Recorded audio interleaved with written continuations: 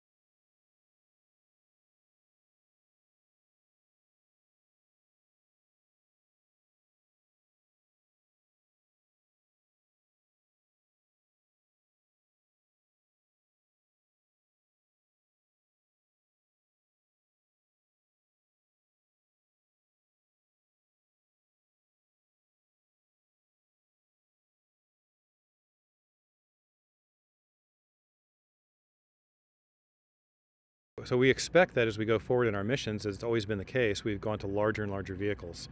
The Sojourner rover was a small microwave microwave oven sized rover, you know, about 11 kilograms. Then we went to the Mars Exploration rover, was 180 kilograms.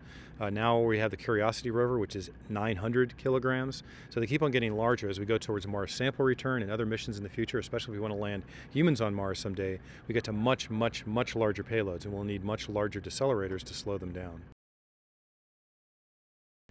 So the hard things we have to do on the project are to develop the technologies and to test them. We're developing two supersonic inflatable decelerators and one very large parachute.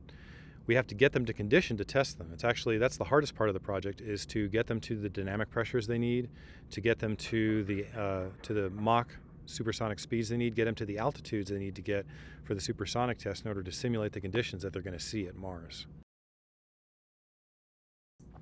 We're making great progress on developing the articles, the parachute, the two SIADs. As you saw, we've, we have our test architecture in place for testing the strength of the parachute. The big thing is to get the vehicle together for doing our test in June of 2014, where we're going to take it up to altitude, do the supersonic flight. That's the most difficult thing, and that's actually the first flight is a shakeout flight to see if we actually got it to work right and got that architecture working. And then we have three more flights to really test the parachutes and the SIADs at the conditions that we expect them to see at Mars.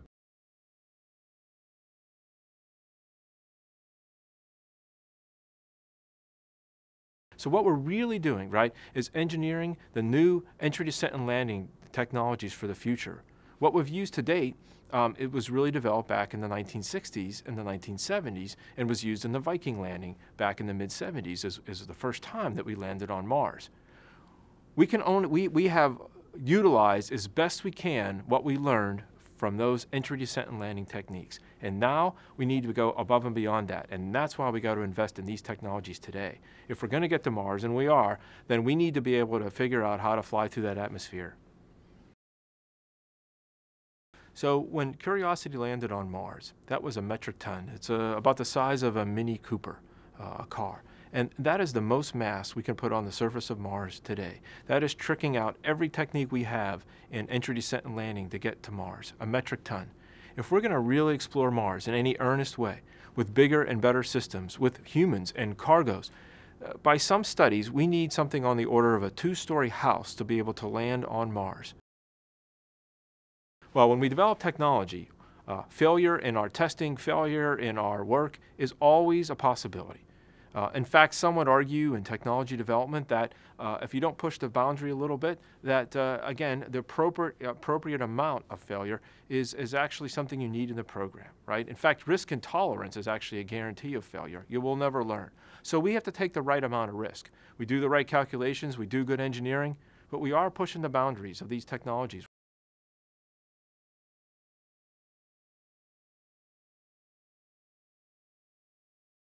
If we want to land bigger things, bigger, more capable rovers that can drive further, and we want to land them at altitudes that we haven't been able to reach before, to explore new regions of Mars, and we want to be able to land them more accurately so we can focus some of the exploration, we need new technologies to do that. And it's not just for the science that we have, but also for the long-term vision of eventually being able to put humans and people on the surface of Mars.